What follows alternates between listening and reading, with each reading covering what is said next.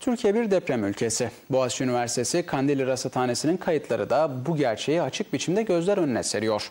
119 yıllık kayıtlarda her 6,5 yılda bir 7 ve 7'nin üzerinde bir deprem olduğu gözüküyor. Rasathane Müdürü olası bir deprem beklendiğini söyledi. Marmara ve İstanbul'daki çalışmaların nasıl gittiğini anlattı. Deprem oluyor. Sadece Marmara'da olmuyor, her yerde oluyor. Artık depremin lütfen e, nerede olacağını ve ne zaman olacağını tartışmayalım. Yer bilimcilerinde ben özellikle kamuoyu önünde deprem büyüklüğünü, zamanını tartışmasını açıkçası ben çok anlamlı bulmuyorum. Biz Marmara'da bir deprem beklerken bu coğrafya üzerinde bu ülkede farklı yerlerde depremler olabilir.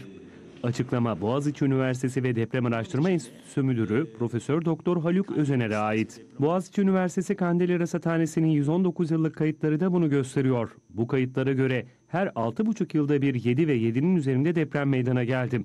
Son 119 yılda farklı illerde 18 depremde on binlerce kişi hayatını kaybetti.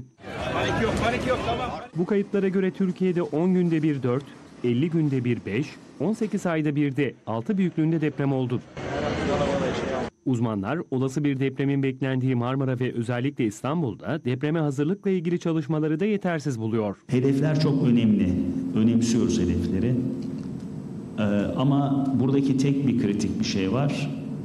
20 yıl minimum ihtiyacımız var.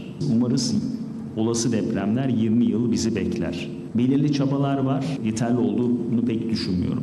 Türkiye'de özellikle İstanbul'a yapılanların e, daha planlı olarak yapılması gerektiğini düşünüyorum. Yani e, münferit bina bazında değil ada, ilçe bazında belki bu işleri düşünüp bir bütün olarak sonuca ulaşmamız lazım. Peki binalar daha hızlı bir şekilde nasıl yenilenecek? Rasathane Müdürü Özener'e göre kanunların pratiğe dönmesi atılacak ilk adım.